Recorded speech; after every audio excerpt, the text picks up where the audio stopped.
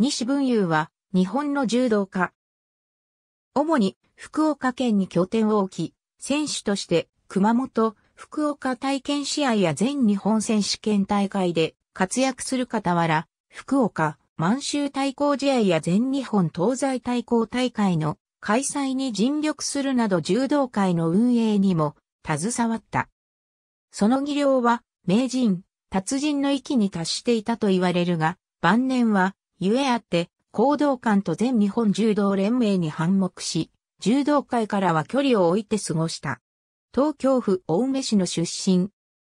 中学生となって、静岡県浜松市の旧制浜松中学校に在学中、他校の柔道教師であった戸田純吉に傾倒し、1915年に旧制浜松中学校を卒業するのと前後して、戸田が指導する静岡市の行動漢文、道場吉正館へ入門した。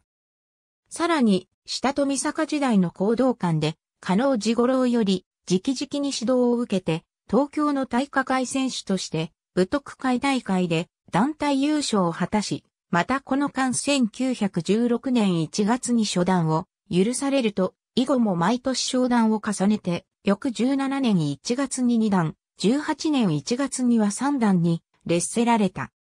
当時の有段者は全国でわずか4191名で、初段や2段くらいでも中学校や警察署の柔道教師が立派に務まる時代であった。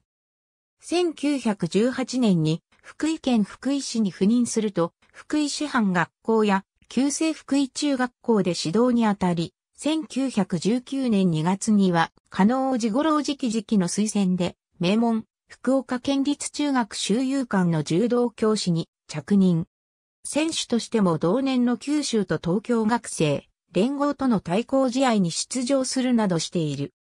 20歳代後半となり、選手として全盛期を迎えた西は1925年と1926年の熊本、福岡体験柔道大会にそれぞれ福岡県側の大将として抜擢されたが、両大会とも西は出番なく福岡県が勝利を収めた。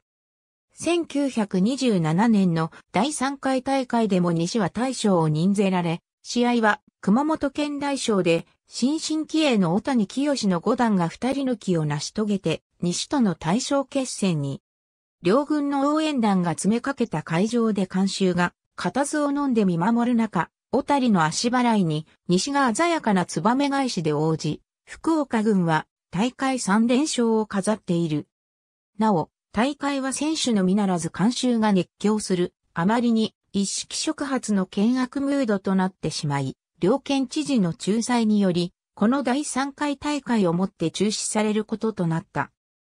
教え子の一人、田中末吉決起の矛先を失った福岡県では、西屋岡部平太六段らの温度取りで、満州国との対抗試合が企画され、1930年5月11日に、福岡市の東公園仮設道場で第1回大会が開催された。西は監督に回り、副将に須藤金作五段と大将に久永貞夫五段を据え、柔道王国を自称してはばからないだけあって、副将、大将の古市の勝利を収めた。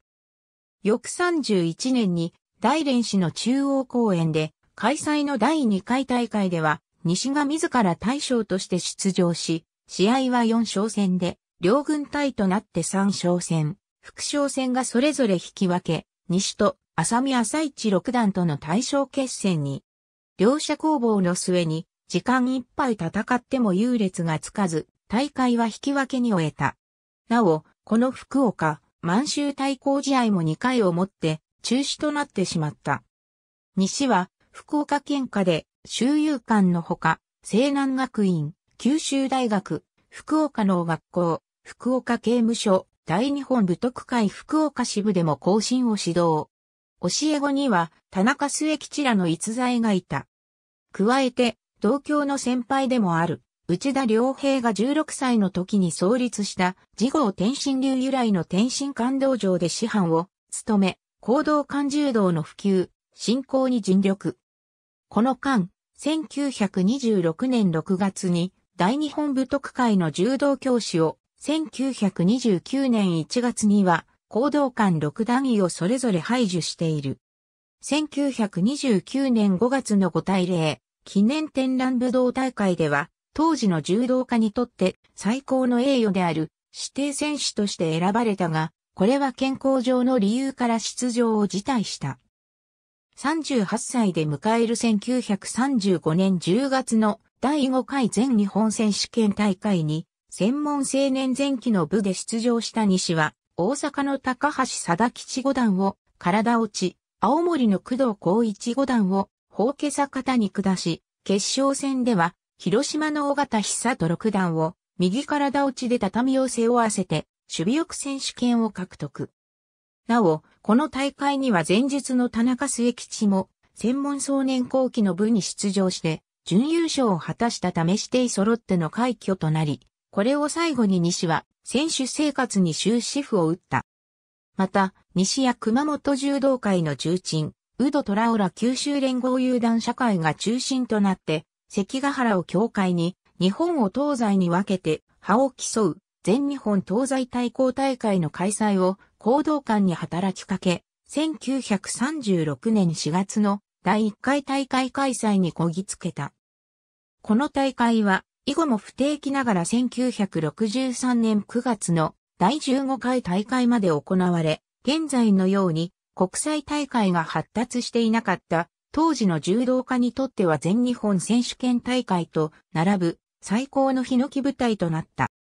このように永年柔道会の普及、進行に尽力し、1944年7月に大日本武徳会の柔道藩士号を受け、1946年5月には行動官の八段に昇段するなど柔道界において存在感を示した。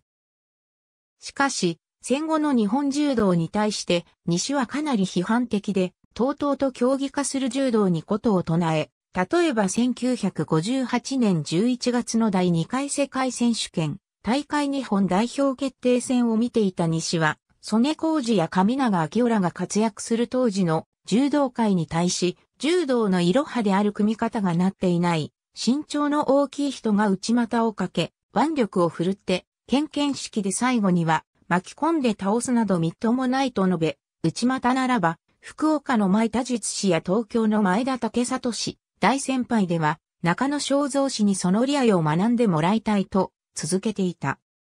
また、柔道の変質を目の当たりにして、西は柔道が獣道になり下がってしまったと嘆き、新生柔道の復活を解くこと24年、一向に改善されない行動官柔道に愛想を尽かしてついに筆を折り、行動官との絶縁を宣言して八段位を返上している。以後は書道と写経に没頭した。柔道修行時代は、先進、後進ことごとく和菓子をモットーに、前述の戸田淳吉や宮川一貫に生涯支持し、加納治五郎の直系として、人格、指揮権、柔道理論に比で、その術技は、名人、達人の域に達していた。身長163センチメートル、体重70キログラムという小袋であったので、力には頼らず柔らのりにかなった技の研鑽に努め、若い頃は釣り込み腰、大外刈り、体打ち、払い釣り込み足の他寝技にも長じ、年を重ねてからは、総足払いや、膝車等の足技にさえを見せたという。また、行動感切っての甲骨感としても知られ、高橋数量や中野正蔵らと共に、三船嫌いで通っていた。柔道評論家の黒田武は、専門雑誌、近代柔道の特集の中で、西について、とっくに球団になるべき人と評し、人物を見る目を持たない、行動官庁とセクト主義の全日本柔道連盟が、この稀に見る柔道家を陰性させたと言えると、惜しんでいた。ありがとうございます。